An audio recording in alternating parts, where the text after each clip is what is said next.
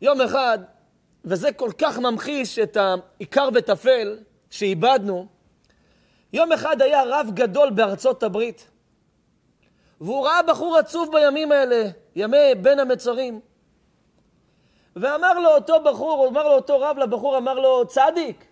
אמר לו, yes. אמר, you can tell me, אתה יכול להגיד לי, why you, למה אתה סד, למה אתה עצוב? אמר לו, רביי, איך לא? אמר לו, למה? אמר לו, היום זה ימים של בין המצרים, ימים קשים, ימים של חורבן. אמר לו, נכון, בימים האלה צריכים להיות שמחים. אמר לו, למה? אמר לו, כי אלה הימים שנותנים לנו להבין על מה נחרב הבית וממה ייבנה הבית. נחרב, כי היינו ככה, עם פנים חמוצות. עכשיו תחייך לעשות לאנשים שמח, כדי שיבנה הבית עם פנים שמחות.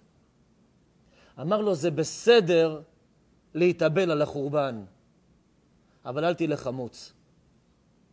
תחייך. כי רק על ידי חיוך ושעושים חיוך לאחרים, בונים את הבית השלישי, בית האלוקים. אם אתה רוצה לקיים את הימים האלה באמת, תתחיל לחייך לבני אדם. תתחיל לגרום להם לחייך לאנשים.